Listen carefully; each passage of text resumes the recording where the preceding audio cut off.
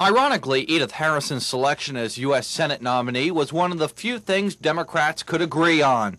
In a convention where much of the attention is already centered on 1985, Democrats found very little to smile about.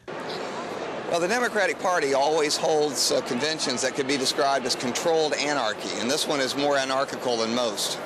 It's really reminiscent in some ways of 1972, the push toward issues resolution, the movement toward nominating a much more liberal uh, candidate for the United States Senate. It's a throwback to the 1970s. Most of you don't have hotel reservations for Saturday night. of course you won't need it because you'll be here.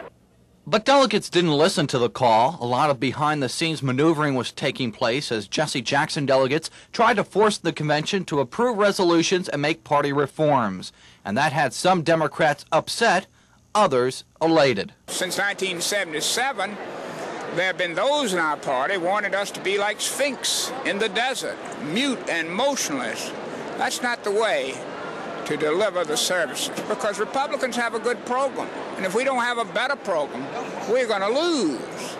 This convention has done more than select a U.S. Senate hopeful and pick presidential delegates. It is demonstrating the emerging political power of black voters in Virginia. In Norfolk, Elliot Weiser, WTVR News 6.